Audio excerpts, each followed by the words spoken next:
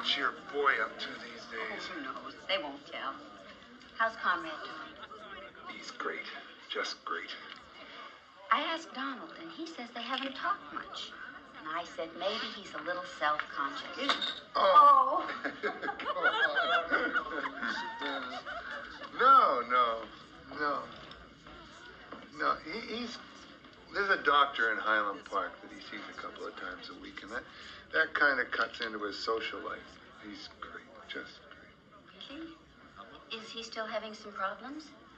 Oh, no, no, no, nothing like that. No, no, no, no, just somebody to talk to, that's all. Just kind of polish off the rough edges, that's all. How you doing, darling? Is he falling asleep on you yet? No, he's great.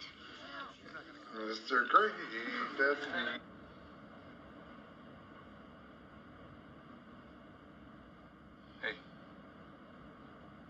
You drink too much at parties, Calvin. I'm not drunk. Why did you tell Annie Marshall that Conrad is seeing a psychiatrist? I don't know, why not? Well, for one thing, I don't think people hear that kind of thing very easily. Come on, for most people it's a status symbol right up there with going to your Well, I thought your blurting it out like that was in very bad taste. I didn't think Not it was to in mention bad a violation of privacy. Whose privacy? Our privacy, the family's privacy. I think it is a very private matter.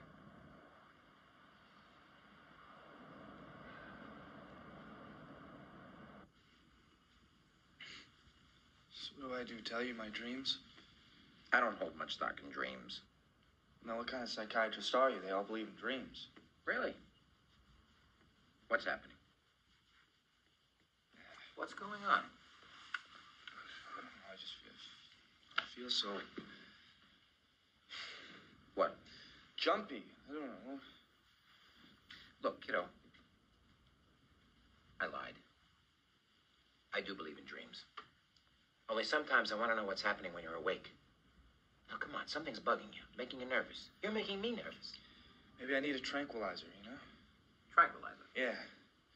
What do you think? I think you came in here looking like something out of the body snatchers. It's not my impression that you need a tranquilizer.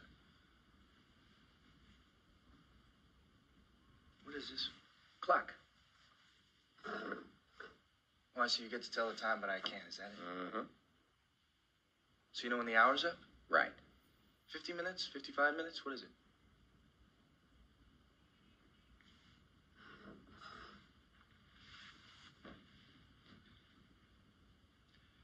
Maybe. Maybe I don't want to swim anymore. You know, I mean, my timing's for shit.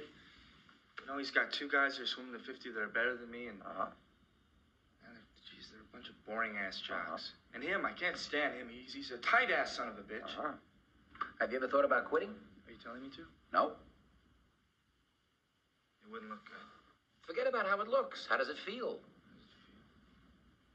How does it feel? How does it feel? As. How does it feel?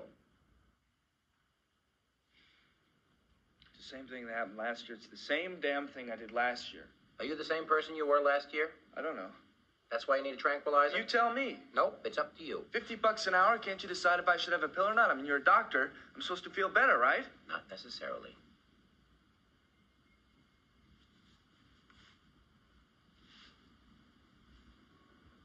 How is it with your friends?